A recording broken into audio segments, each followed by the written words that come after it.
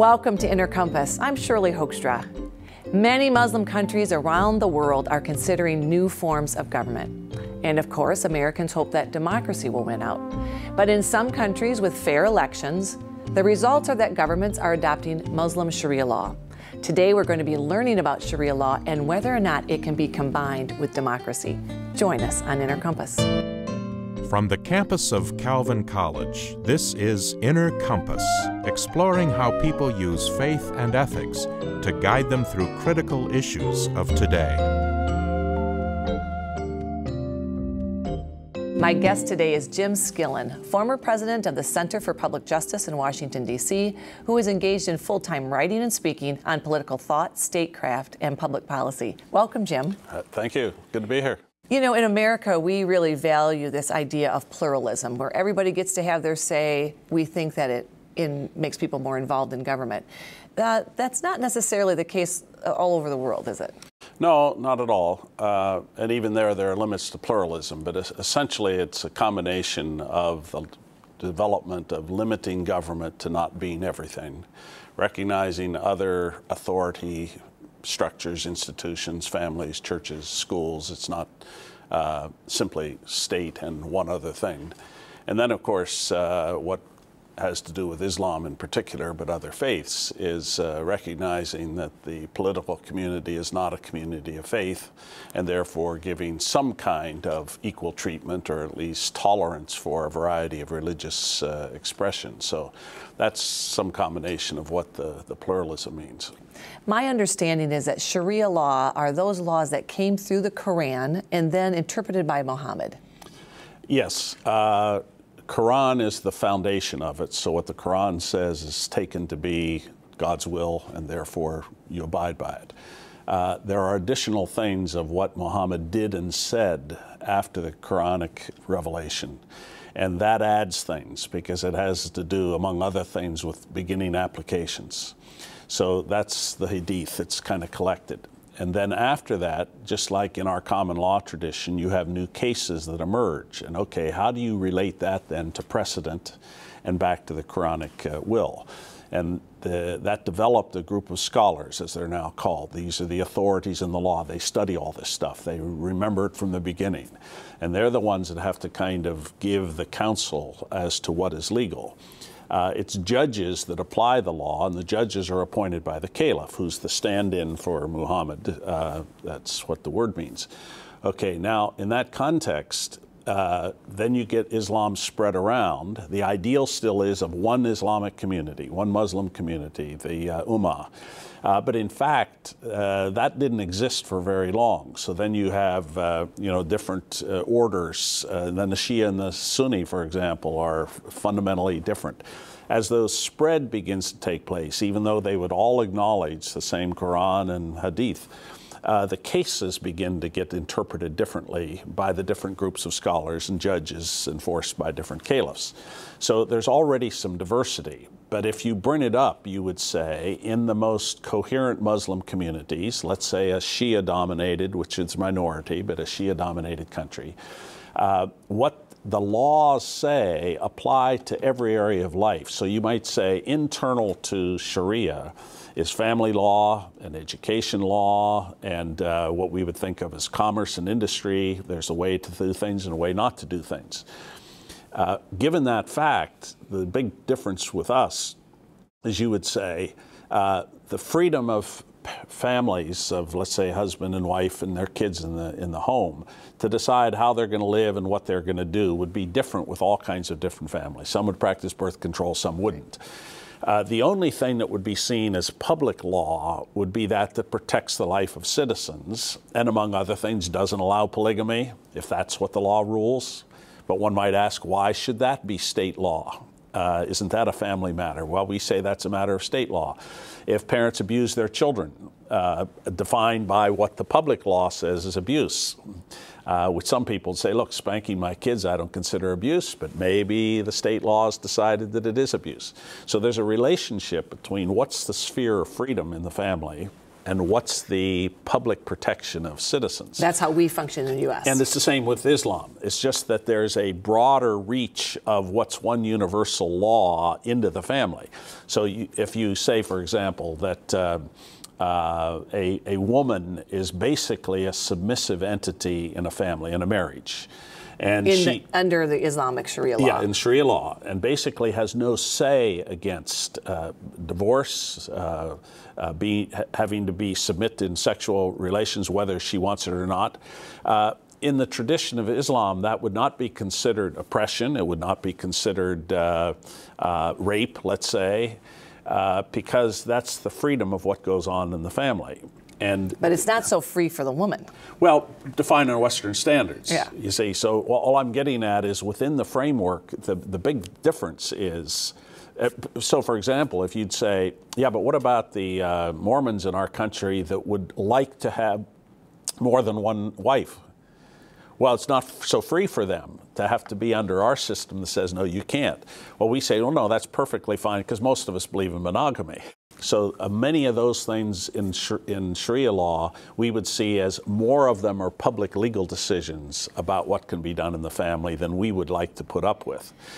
So within that, you can say, but even there, uh, somebody stoned for this criminal act, for this kind of uh, uh, adultery, for this, even those are applied differently in different uh, settings. So, how does that idea, uh, the common state, and the fact that this Sharia law would then govern that, how does that fit into a pluralism, a pluralistic society idea? Well, it, it doesn't. I mean, if you take the, the, the, whole things, it's a little bit like would the canon law of the medieval Catholic Church, which right. was the highest law that kind of oversaw some subordinate laws but had to have some highest moral authority. Would that fit in the United States today? Well, not at all. There are many elements of Sharia law that have to do with family law.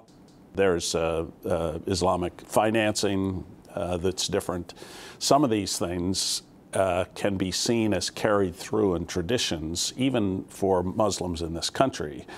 So the question is how many of those elements and pieces that would function in a differentiated society can function without a total Sharia system? You take a country like Indonesia, which is 95% or something Muslim. Um, they don't have Sharia law uh, imposed from the top. It's they, they most of them don't want it. Uh, they won't vote for a Muslim political party, most of them, because they want an open society. There are some communities of Muslims that want very strict Sharia law, and in some cases they're allowed to do it. So it becomes the, the law of the land, you might say. But so is that sort of like by majority? So if a little community in Indonesia is more conservative and strict, they can they can uh, impose, for well, instance? they might be allowed to. It's not a general federalist principle. Like if you have enough people in Idaho or Michigan, right, right, then you right. can do this okay. different from what they do in Maine. But uh, it's some, they sometimes can get away with it. So it's a little turn the blind eye. Well, not necessarily. If you if, if you start and you say that the government of uh, Indonesia, even if the president is a Muslim, uh, already agrees that Sharia law will not be the law of the land, then it's already closer to a country like ours, as is Turkey, uh, closer to a country like ours than Saudi Arabia or Iran, where they are more coherently and systematically sh under Sharia. So in that sense, you have to say, well, how is that possible? Is there already accommodation or whatever? And that's where the, um, the question of, well, what is normative Islam? Say, so this uh, Professor Amin in, uh, at uh, Emory University, who's one of the Muslims arguing for almost a pluralist society as something that Islam can become, he argues that in the Quran there is no reference to uh, what a state ought to be. So that goes back to an era when there, I mean, that's before the states existed. So you have a community of uh, tribal groups that live under the law of Sharia. And he's saying Muslims ought to be free to live in any kind of state and therefore accommodate themselves to a pluralist state, to something else, and then be satisfied to practice other elements of their faith closer to the way we think, in private, within their own community, in their churches, And if they want to call marriage a sacrament, uh, if you're Catholic, you can. If the church says uh, don't practice birth control and you don't want to, you can. That's not a matter of state law. So if they if if uh, enough Muslims come to believe that that is true Islam, then the idea of Sharia as an encompassing law that a few judges determine what should happen in every area of life will just kind of disappear. You might describe what you just said as secularism, sort of the secularizing of Islam, whereas um, more conservative or hardline Islamists might say, look, the minute you give up this idea of Sharia as encompassing the government, you have really abandoned your faith. In fact, that's the kind of debate that's there. If you're sliding away from uh, what we considered normative, which was what, in the 700s, in the 14th century, whatever, under this uh, group of rulers, under this caliph in the Ottoman Empire or whatever, uh, then we're losing the very meaning of our faith. Uh, others can say, well, no, we're making room for ourselves to live with various people so our faith can be authentically chosen. Well, th this is the debate essentially. I mean, it's not exactly the same, but it's the kind of thing that emerged uh, in the West. I mean, at the time of the Reformation, it was only the Anabaptists who believed that a faith community could live without regard to government being the determiner. But the Calvinists, the Lutherans, the Catholics, none of them could imagine that you could have a society that did not have one faith established. Well, this is actually very helpful uh, to understand that faiths have a progression.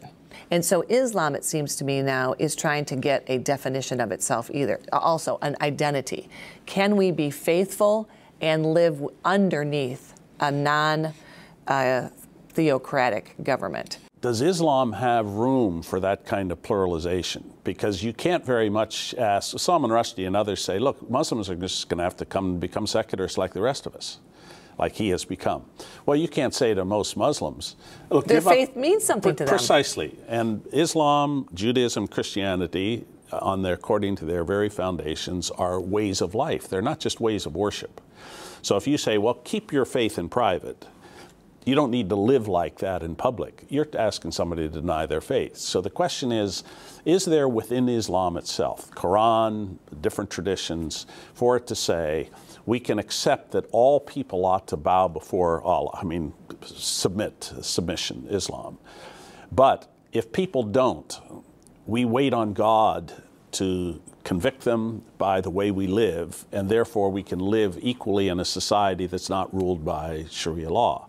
If there is that potential within Islam, then it just needs to be drawn out, and then you can say, uh, back in these other traditions of a kind of theocratic imposition, we're, we're not necessarily required of Islam. But I don't myself see, from what I know of Islam, that those kind of resources are there as they were in prophetic uh, biblical religion where uh, God uh, punished Israel, but it didn't mean that he gave up on them. And the prophets were interpreting this as uh, the new heavens and new earth brings about something different than is only what's now, and Christianity with the patience of God's mercy. So that's the question. Will it be possible for Islam to pluralize or will that mean the end of Islam? Well, are there leaders, uh, prominent leaders, who are financed with this kind of message, speaking about the pluralism of Islam? Well, quite a few, but almost all of them are in either countries like this or some European countries. A number of Muslim scholars, they're writing books now uh, arguing in one way or another for Muslims to come to live uh, in open societies. But most of those who are most vigorously uh, contending for Islam in Iran and elsewhere, they're not arguing for pluralism. No, no. in fact, uh, I think one of the fears about coming together and, and trying to accommodate is that the moderates will not win. The people who believe in pluralism are going to get swept up because we're naive, uh, because we are, have a misguided uh, trust in pluralism or respect or tolerance and that we are sort of giving away the store. Well, who knows what the course of history will right. be. I think the people who, who argue that uh, just around the corner comes the great wave right. uh, are basically living by fear.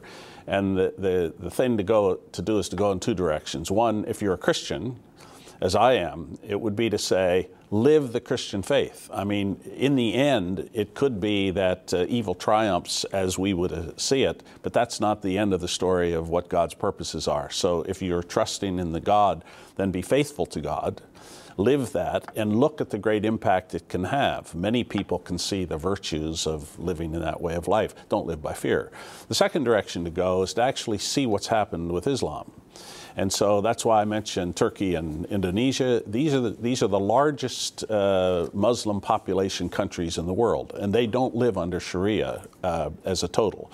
But furthermore, look at some of the edges, uh, some of the greatest conflicts, like in North Africa. Right, talk about Nigeria a little bit, because that has had some real tensions around this. Well, sub Saharan Africa, you have a whole string across there where Islam basically comes down from the north so the northern part of many countries are Muslim, and the southern parts uh, of them are often Christian.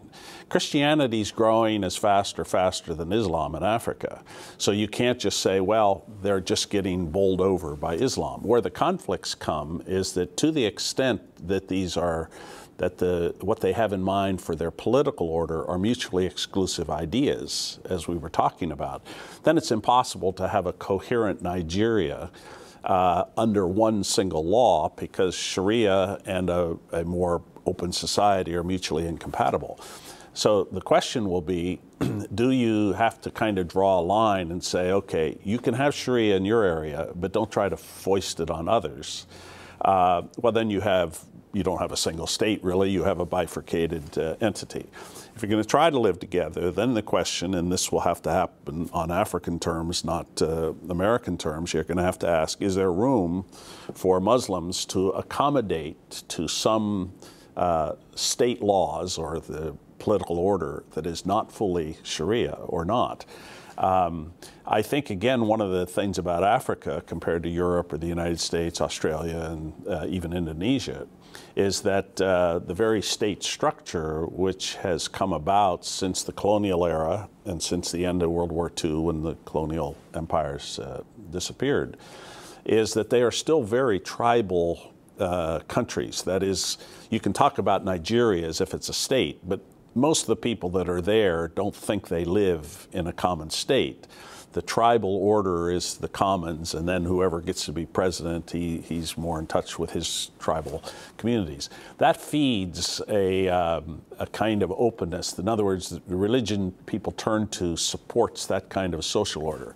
So it's a bigger question than just the religious one. So, do you think that actually the um, Muslim faith is going to look different in a variety of countries for some time to come? Well, I would think so. I mean, uh, it's entirely possible that where there's a revival of Sharia law, or uh, the, many of the Muslims who are saying we can't go in that pluralist direction, that gives up Islam, and they harden the effort to uh, bring about a more complete, solid Muslim community.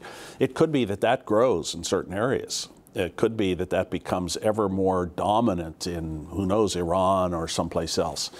But um, uh, if you look at where most of the populations are, uh, it seems to me that however great the tensions are, that's not what's happening even in Iran. There are great conflicts going on between reforming types and the old uh, Ayatollah uh, various kinds. So because there's got to be people who are feeling oppressed, precisely, you know, by that by that kind of law, and you would think that the natural progression of things will actually cause some opposition at some point to the extremism that uh, gets in place. Well, we see that as progressive, uh, right. uh, and I'm just I'm trying to acknowledge that for many Muslims, that is not uh, progressive. many of the women, for example, who are uh, students, they're going to become doctors or lawyers in Turkey, want to have more uh, Muslim expression in their lives. The habib they wear, all these hijab, the things they wear, uh, uh, the family life, they want that. So to say to them, well, no, you should progress all the way and give that up is, is not for us to say. Right. But it is a question if they say, uh, we want a more uh, thorough Muslim way of life, and therefore we will have to uh, overcome the, uh, uh, non Sharia system of Turkey's national law and Indonesia's law, well, there's going to have to be a vast movement of Muslim uh, faith conversion, of, of, of, a commitment to that kind of thing, to overtake what is now existing for a long time in Indonesia and Turkey and many other, other countries. Then you have countries like Pakistan. Uh, how much of what defines Pakistan is um, uh, a, a, drive for a, a more ancient form of Islam, because there are many conservative Muslims in, as well as some radical Islamists, and how much of it is a nationalism that is anti-India or anti-the West or anti-something else. Then you have countries like Afghanistan. It, you, it's just hard to know what will happen there because to have a firm and uh, uh, imposed Sharia system, you have to have a strong government. Correct. And many of these countries don't have strong governments. They don't have strong states that can, uh, Nigeria, many of these are federalists or the combined tribal areas, and they don't have the uh, kind of imposition that would be necessary. But now Rowan Williams, the Archbishop of Canterbury in Britain, has said maybe in Britain there can be some accommodation. There's a large Muslim community in Britain from the Commonwealth countries, Pakistan and elsewhere, and many of them want to practice Sharia law. And I think what he was fishing for is something like how much of family law, Muslim banking, etc., can operate the way we already recognize diversities of ways of doing education and banking and so forth in Britain. Uh, but it, you can't go very far with that until you ask, well, what do those elements attach to? Right. And if the elements can't be dislodged from a total Sharia system, then the implications are that Muslims will, will have to campaign all the time they have freedom in Britain for a total British legal system change. Uh, that's hard for me to imagine, but if people are converted to Islam and they're willing to participate in that, it's possible. Well, you know, even here, um, one of the beliefs we have about America, uh, maybe it's more true or less true, is that we're a melting pot. And this idea that you have a confederate of states where people will come together and I will buy from you whether you meet my religious uh, uh, understandings or not. I don't first question that. What I want to say is, oh, do you, are you a good baker? Then I'm going to buy my cake from you. Not are you a Christian and then I'll buy my cake from you. And, and so it allows us to have the best idea of government and flourishing. If you create pockets you know, you, you have to ask yourself, what in the long run will that do to the benefit of the whole that we value here so much? Well, there again, the, the melting pot has sometimes been overdone. It's true that if you come to the United States, both at the state and federal level, the very nature of government is uh, articulated as limited to some things. And even at the federal level, I mean, family law, so, social care law, education law, most of these are state rooted. They're not federal um, uh, responsibilities. So if you have that kind of system, it means that if people come here for economic reasons and can buy a farm and sell their eggs to whomever, then you have what you call an open market. If you have educational pluralism, it means people can educate their children in different schools. But one of the strongest movements throughout the 19th century was anti-Catholicism on the part of Protestants. We were deathly afraid that more Catholics immigrating in the country with yielding to the papal authority is the end of America. This is what the people objected to John F. Kennedy. Precisely. They said who he's going to be loyal to. Uh, but that one was very strong and with some violence in the 19th century. And that's when basically the white Anglo-Saxon Protestants in New York and Boston and set up the kind of system that we had now, which was to say all public monies should go only to non-sectarian schools. What they meant by non-sectarian in the 19th century was not Catholic. Right. They were very religious, these public schools. They were Protestant. But uh, we have, in other words, at that point you had to ask, what is part of the national identity? And in the 19th century, you were saying it has to be Protestant moral culture, not the Protestant church. Catholics are free to have their churches and their schools, but they'd have to pay for their schools. Right. So how do you marginalize what you don't see as authentically part of the country? Uh, today, if you look, we're far more pluralistic. Uh, we have far more Hispanic uh, people in uh, many enclaves in, in uh, the West Coast in particular, but elsewhere you have very strong Asian communities, which are almost self contained except in market. And uh, you, if you were an Anglo going in, you could buy from the shops and eat in the restaurants, but you wouldn't be able to communicate with anybody if you're not speaking Chinese or something else. You wouldn't be participating in, uh, et cetera, et cetera. Right. So the pluralism uh, functions as long as people are tolerant and if they're not demanding that everybody has to submit to one thing. So I think uh, the question of the future will be how many countries uh, with Islam as the dominant religion, will become pluralistic in themselves. Well, this is going to take, both for the West and for the uh, Islamic countries, deep commitment to wanting their people to flourish and to live without fear.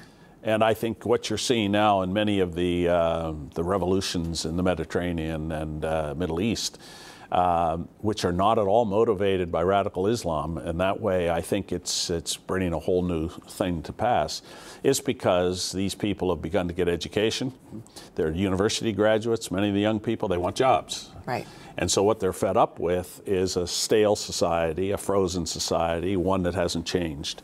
So in that sense, if what comes to be the desire is a wider degree of flourishing, meaning jobs, etc., uh, they're going to have to change the societies in a pretty radical way. Thank you. My guest today has been Jim Skillen, former president of the Center for Public Justice in Washington, D.C., who is engaged in full time writing and speaking on political thought, statecraft, and public policy. He contributed to the book Sharia and the West. I'm Shirley Hoogstra, and thank you for watching Inner Compass.